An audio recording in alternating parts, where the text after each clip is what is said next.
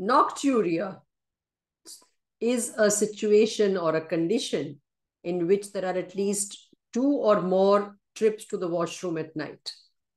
So, and as we can imagine, frequent trips to the washroom will result in breaking the sleep, difficulty in falling back to sleep sometimes, and leaving the person or an individual tired in the morning and maybe even fact sleepy.